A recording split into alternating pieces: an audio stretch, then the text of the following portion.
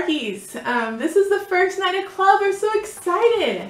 So if you were at Sparkies right now, at club, um, I would have everybody stand up, and I'd have everybody stand up and turn in a circle, okay?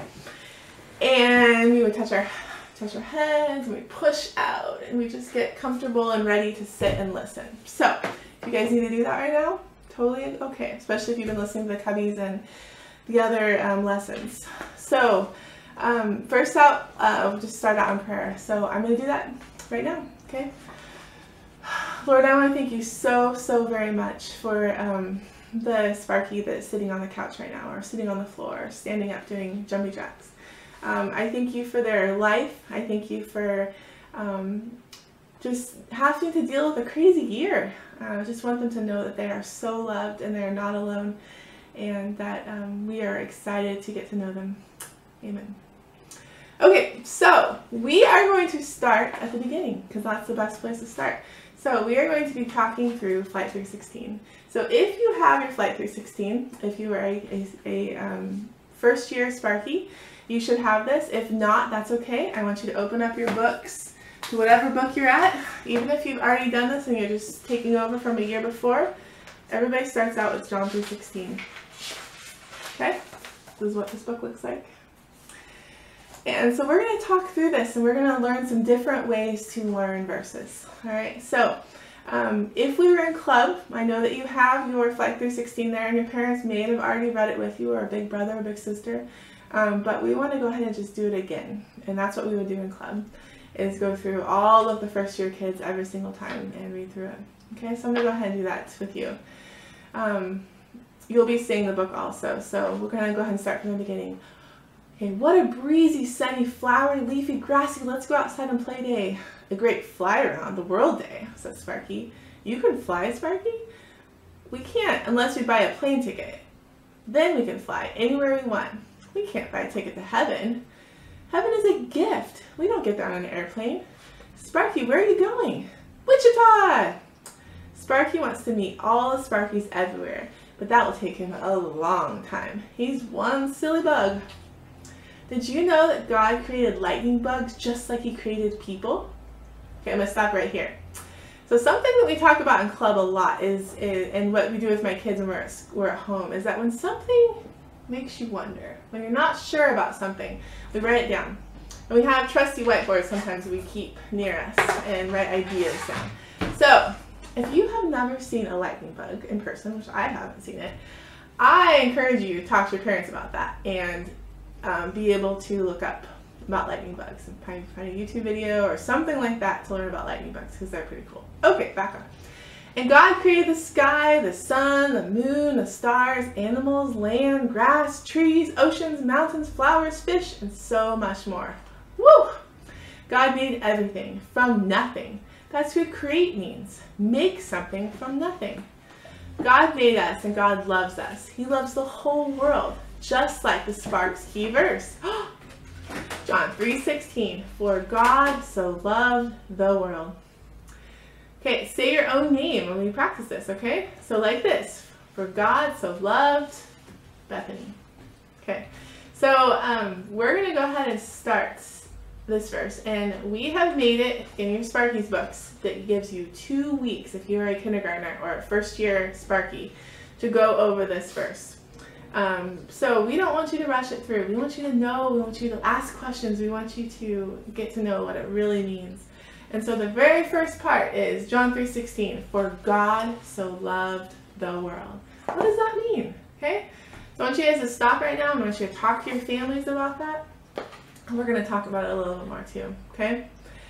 So we're going to keep going into the book and then we're going to talk a little bit about the, about, okay. So in the book, Early next morning, Sparky, I thought you were in Wichita.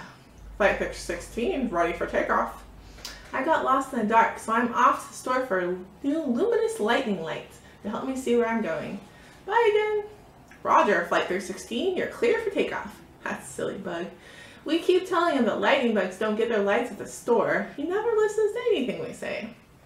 People don't listen to God either, even though he made us and he loves us. He loves us so much, he sent his son, the Lord Jesus Christ, to die for us. Okay, we're on the second part. John 3.16. For God so loved the world that he gave his one and only Son. I want you to stop and I want you to say that again. Okay? So John 3:16. For God so loved the world that he gave his one and only Son. If you're sitting on the couch, I encourage you to stand up right now, turn in a circle, and we're going to say it one more time. Now, you know how I'm saying it. I'm not saying, John 3:16, for God so loved the world. Because it's really easy to do that. And when we're in club, some of the kids have said it hundreds of times. They start to say it faster and faster and faster. The problem is, are you really listening to the words? Do you really know what, what you're saying? No.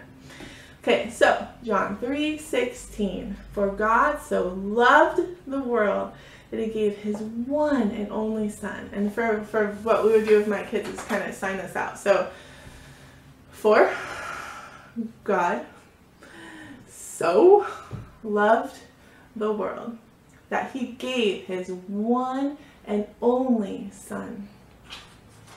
Okay, next page. The Lord Jesus has to die because of our sins. Sins are the bad things we think and say and do. Because we couldn't take the punishment for our sins ourselves. Right, because we aren't perfect. We're all born sinners, and because of that, we all sin. Things that are against what God tells us in His Word, the Bible. We need someone perfect without sin to die for us. The Lord Jesus is the only one who is perfect. No one has ever been perfect. So He is the only one who could have died for our sins. But he didn't stay dead, that's sure. He came alive again three days later and now is in heaven. We need to trust and believe in him. He died for our sins and he can come alive again. We need to trust him as the one who saves, rescues us from our sins. Okay, we're on to the next part. John 3:16. For God so loved the world that he gave his one and only son that whoever believes in him if we trust in the Lord Jesus, He will be forgiven. We will have the power to, to live the way God wants us to live. And we will be in God's family forever. He will make a home for us in heaven. I hope all the Sparkies have trusted in the Lord Jesus, our Savior. If they haven't, they need to talk to their parent and leader and someone else who can understand, help them understand. Okay, so I'm encouraging the first week for the leaders to talk about this okay, when they check in with your kids. But also, parents, please just just start that conversation of, are you understanding what this means? Um, those heart questions of, you know, are you ready to ask Jesus into your heart? We've got lots of resources if, if that is hard um, to start those conversations. So the questions we're going to ask are, have you trusted in the Lord Jesus? If you have, have you thanked Him for taking the punishment for your sins, for making you part of God's family and preparing a home for you in heaven so you can someday live there with Him forever? All right, you ready to say the whole verse? Okay, John 3 16. For God so loved the world that He gave His one and only Son, that whoever believes in Him and shall not perish, but have eternal life. John 3 16. Now, if I went back and figured out how many times I've said or read that verse, I'm sure it is in the thousands of thousands of tens of thousands of times. But it's funny how every time we start Sparks, we start going back over these verses. I just realized how exciting and what a gift we have here. And it's not an easy concept. It's not just a verse that we can rush through. There is so much to this and an amazing gift that God has given us to have. So, kids, I want you to be listening right now, okay?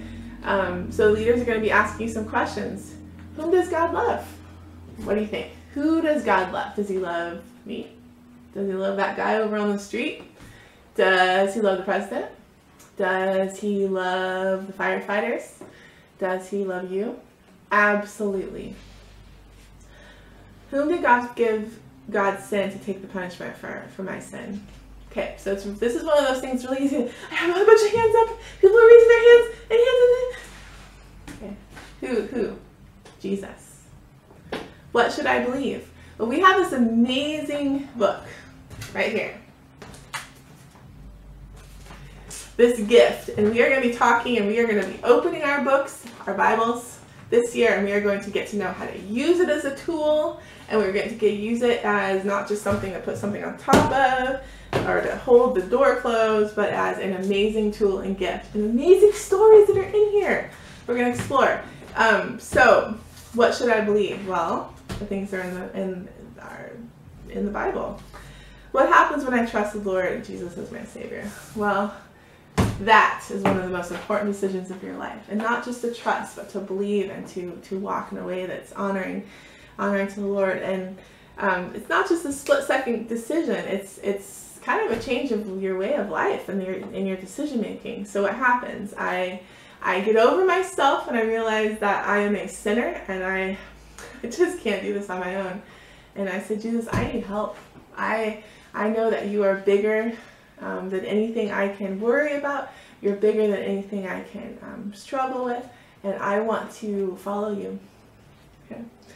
Um, so your leaders are going to be checking in with you this week, and I encourage you, um, parents, it's okay to take two weeks on this. Um, I don't want it just to be a rush thing. I want them to really um, learn this verse and have it be a, a heart verse um, posted everywhere. If they're if they're not reading yet, um, that's okay. Lots of um, pictures and stuff. I'm gonna have this stuff on my for my kindergartner and we're to draw some pictures and kind of make it visually some reminders, visual reminders to, to learn it. And also, I don't know about you, but we have these handy dandy whiteboards. And so we will take a word off and we'll say the verse John 3:16 for God so loved the world he gave his one and only son that whoever believes in him shall not perish but have eternal life as you take away words, you're you're putting those in your memory and be able to um, say it without actually reading it. And also, the other thing I was going to show you was print out. Cut out the words um, as a family, uh, make it a game, and put them back in order. So, this is our first week of club. So I want you guys to know how loved you are. Um, we're going to be doing a lot of learning, a lot of having a lot of fun together and um, hopefully just challenge all of us as kids and as parents um, to learn about the Lord. So thank you. We will see you next week.